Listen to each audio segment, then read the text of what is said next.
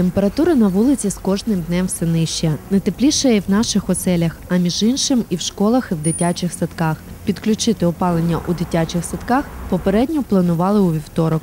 Зранку в середу стурбовані батьки звернулися до нас зі скаргою на те, що тепла в садочках немає, а температура у групах нижче 17 градусів.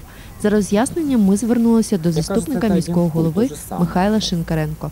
У вівторок е, наше підприємство тепломережі е, розпочало роботи по підключенню дитячих садків. Е, Станом на сьогодні, на вчора на 21.00 е, теплоносій подавався на всі садки, але сьогодні зранку виникла ситуація, що не у всіх є саме послуга з опалення. Сталося це з якої причини? Ну, було встановлено нове обладнання на п'яти дитячих садках індивідуальний тепловий пункт з погодним автоматичним регулюванням. Це нове обладнання, його неможливо було протестувати е, до початку опального сезону без теплоносія. Але коли встановлювали, то розраховували на тиск е, від нашої центральної міської котельні.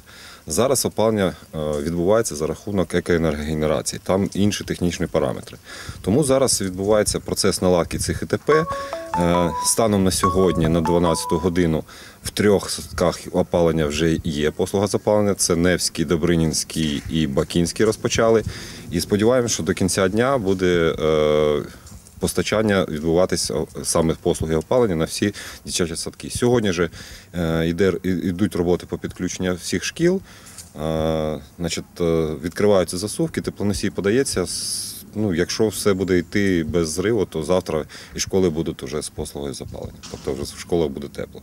Ну, приношу вибачення, що, скажімо так, не зуміли ми своєчасно там з вівторка вже зробити тепло в групах, але прошу потерпіти день і все буде зроблено. З урахуванням е, наказу Мінрегіонбуду опалення е, на житлові будинки та й взагалі на е, сезон опалення розпочинається, коли ми протягом трьох діб маємо е, температуру наружнього воздуха нижче 8 градусів середньодобово.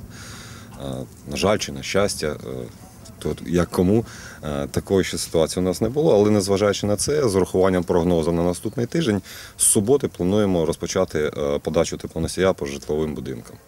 Тобто на сьогодні у нас е, вчора був підписаний договор реструктуризації з НАК Нафтогазом е, між КП УЖКХ і НАК Нафтогаз. Сьогодні цей договір е, повинен бути в мережі НАК Нафтогаз заведений, і це є підставою для отримання номінацій на постачання природного газу. Тобто сподіваємось, що сьогодні-завтра у нас будуть номінації. Е, Технічно ми готові і з суботи плануємо. Ну, принаймні, е, така задача стоїть працівникам ОЖКГ з суботи розпочати е, подачу тепла на житлові будинки.